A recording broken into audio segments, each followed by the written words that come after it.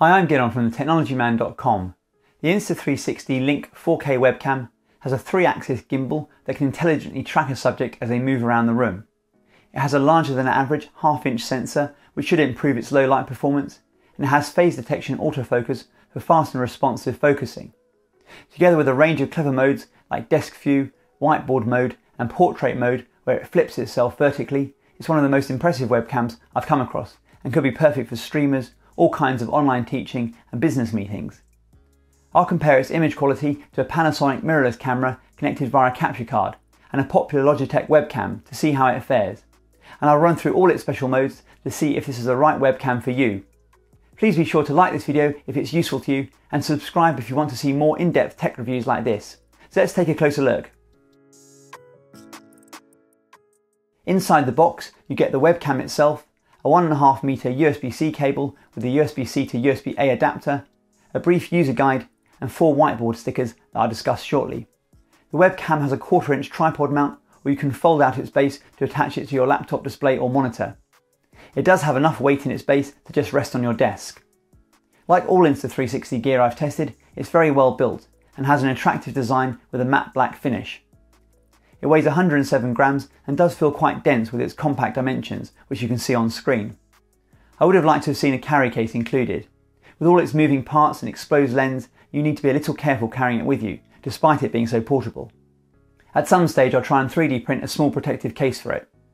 Like most webcams, installation is a doddle. Just plug in the supplied USB cable into the webcam's USB-C port and the other end into your computer. The webcam will perform a self-test with its full range of movement and the light around its base will illuminate blue for a short period of time. You can then use it with any software that supports a standard USB video class or UVC webcam, including all the popular video conferencing apps like Zoom and Teams, and streaming software like OBS. The LED will light green when the webcam is in use. When you close any app using the webcam, this LED will go off, and after 10 seconds, the lens will enter its privacy mode and point itself downwards. To use all the webcam's features, you'll need to install the Insta360 Link Controller app for your PC or Mac, which you'll need to download from Insta360's website. The app's default gimbal control view lets you control the webcam's three-axis gimbal with a virtual joystick. It can pan horizontally almost 360 degrees and tilt and roll vertically almost 180 degrees. To reset its position, you can click the reset icon or you can double tap the front of the webcam's base. You can also digitally zoom with the zoom slider. You can save up to six positions as presets, which is very useful, and moving between these presets is fast. If you right click the presets, you can rename, update, or delete them. I would like the option to drag around the preview window with my mouse to control the gimbal, but I'm assured that's coming very soon in a firmware release. If you want to use a webcam in another app, you must turn off the preview with a video icon. Beside this icon, you can choose a video resolution up to its maximum 4K I'll discuss the various special modes shortly, but to the right of these special modes, there's a record button to quickly capture videos with the webcam, although you can't change the default 30 frames per second frame rate. You can set the video save location under Preferences, which you can access from the three dots in the title bar. Under the Image Settings tab, you can set exposure compensation or manual exposure. And you can set manual white balance, but unfortunately there's no custom white balance, which I'd like to see at this price point especially a webcam aimed more at professionals. You can also tweak brightness, contrast, saturation and sharpness. In the More settings tab, you can toggle gesture controls and AI zoom, which I'll discuss further shortly together with camera focus, streamer mode and HDR. You can leave anti-flicker as auto or set it manually for your region, and if there's a firmware update available, you can download and install the update here too. There's also an option to factory reset the webcam settings. If you click on the icon in the title bar with two rectangles, the main window is reduced to a compact toolbar with most of the same controls. The webcam has an f1.8 autofocus lens with a 26mm 35mm equivalent focal length that can capture at up to 4K at 30 frames per second and 1080p at 60 frames per second. It has a larger than average half inch sensor which should improve its low light capabilities. I started off comparing the webcam to my Panasonic G80 mirrorless camera, the popular Logitech C920 webcam, and the Anker PowerConf C300, a webcam aimed more at the professional market. The Panasonic camera was connected via an Elgato HD60S Plus 4K capture card, and I had a 30mm equivalent f1.7 Leica lens attached. The Panasonic and Insta360 were recorded at 4K 25 frames per second, and the Logitech and Anker at 1080p 25 frames per second. All cameras were set to autofocus and auto white balance. I did set the focus and exposure manually with a Panasonic camera. With plenty of daylight coming from a large bay window just beside me, all the cameras produced decent results. You can see how they compare yourselves in all these tests, but the Insta360 output looks very good, with accurate skin tones and the exposure was spot on. The half inch sensor still isn't big enough to even slightly blur the background like the Micro Four Thirds sensor of the Panasonic, unless you're very close. But overall, I prefer the output from the Insta360 to all the other cameras. I did play around with manual exposure and white balance in the Insta360 app, but in most cases the auto settings worked just as well. Next I closed the blinds and turned on a 1400 lumen Elgato Keylight Air LED light at around 15% output and 5000K colour temperature. The light is sitting in front and to the left of me. Again, the Insta360 Link produced the most accurate colours with potentially difficult lighting. There isn't much noise, but I'd possibly turn down the sharpening a little for my taste or if I was going to post-process the footage. Turning the lamp off, there's very little light in the room and there's a fair bit of noise with all the webcams, as you'd expect, especially in the shadows. The mirrorless camera unsurprisingly fared best, but I had to bump up the ISO of the Panasonic to 1200 and that's with the lens wide open with its maximum f1.7 aperture. The Insta360 Link image still looks more than acceptable, and most importantly, colour accuracy is maintained. The Logitech C920 is really starting to suffer in these conditions. The Anker does a better job than the Logitech, but it uses quite aggressive image processing, and the image looks a little artificial. There's also an HDR option for high contrast scenes. This doesn't work in 4K mode, you'll need to drop the resolution down to 1080p. I tried it in front of a bright window with the blind partially pulled down. You can see the difference with HDR off and then turned on. There are details in the window which are blown out with HDR off. Although I did find the overall image quality degraded slightly with HDR on and colours were slightly off. The webcam still does a pretty good job with exposing the foreground with HDR off, even with a bright background, so I've tended to leave HDR disabled in most situations, and I prefer to use 4K anyway. The webcam has phase detection autofocus and can focus quickly. This is useful for any content where you regularly want to show a close-up of an object, like a product review. You need to keep the object at least 10 centimeters away from the lens, which is the minimum focusing distance. But you can see in these tests that the webcam quickly adjusts focus between the object and my face.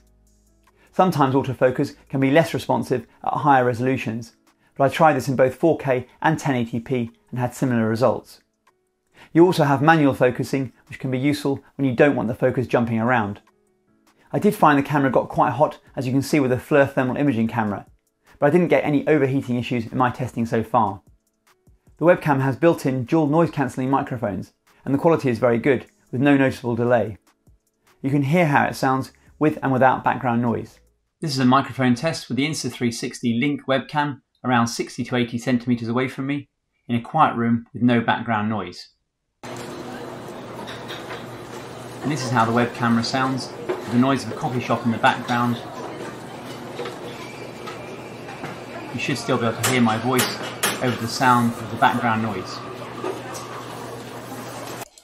And this is how it sounds again in a quiet room. A big selling point of this webcam is its AI features and special modes, most notably AI tracking, which with the gimbal's range of movement becomes genuinely useful. You can enable tracking mode either in the main app, the compact toolbar, or with a gesture. Holding up the palm of either hand to the webcam will toggle tracking. The webcam's LED will flash blue when it's understood your command. You need to make sure you don't cover your face when using gestures, so they tend to work a little better if you're not too close to the camera. The webcam does a very good job of tracking you as you move around the room. If you enable AI zoom under more settings, you can then specify head, half body, and whole body and the webcam will both track you and digitally zoom in to maintain your preference. It all works remarkably well, far better than I was expecting. You can even set the tracking speed, although I found the default normal was about right for me. I can imagine this could be a very useful feature for any kind of teaching scenario. You can also use an L gesture to digitally zoom in or out. This takes little practice. You need to hold the L gesture, again with either hand, until the blue LED flashes. Then move your hand up a short way and hold to keep zooming in, and pull your hand down a short way and hold to zoom out. This works better with tracking on and if you're a little distance from the webcam. There's a whiteboard mode which automatically zooms into your whiteboard and attempts to correct for any keystone distortion. You apply the force applied stickers to the corners of your whiteboard and then either click on the whiteboard icon in the app or use a V gesture. If your webcam is in a fixed location rather than on a tripod, I find it easier to create a preset that points the webcam in the general direction of your whiteboard before enabling whiteboard mode. It does do a good job of framing your whiteboard, but it doesn't apply any exposure correction. It's another potentially useful feature for online meetings and teaching. Next up is Desk View, which is a nifty little feature that points the webcam down at your desktop, flips it the right way up, and again corrects for any keystone distortion. This also worked very well. If you attach the webcam to an overhead tripod with its quarter inch thread, you can also enable overhead mode, which will point the camera directly downwards for a true overhead shot, which could be used for unboxing videos, for example. Both of these modes need to be activated in the controller app. The last mode is slightly hidden away in more settings. Streamer mode lets you rotate the webcam to record 90 degree portrait mode videos. You have to use your streaming software to choose the correct resolution to actually enable this mode. In OBS, you select 1080 x 1920 under resolution, and the webcam will then rotate 90 degrees for a portrait capture. You'll get better tracking performance using the webcam on a tripod and rotating the mount 90 degrees like this. The webcam is then still able to use its full range of motion in portrait mode to track you.